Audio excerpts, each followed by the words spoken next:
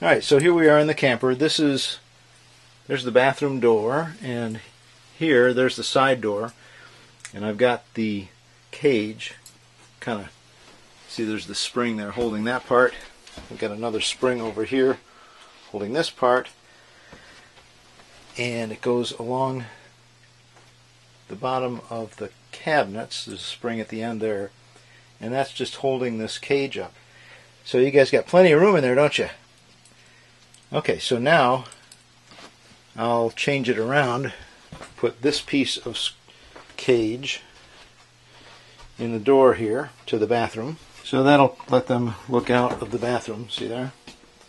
And then undo this.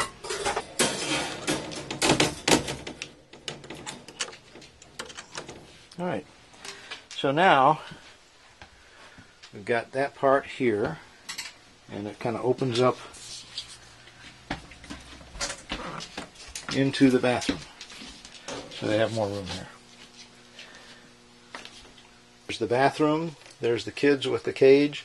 And you can see beyond it there is the cage wrapping around from the bathroom door, keeping them underneath the counter there. So that's good. So they can get out to this.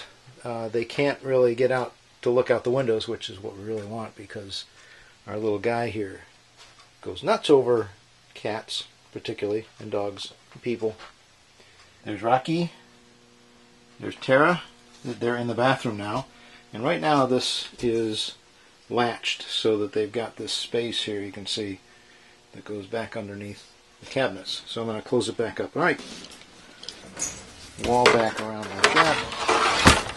Alright, so now, against this terrible stuff, but so there it is. And they've got nice space under there.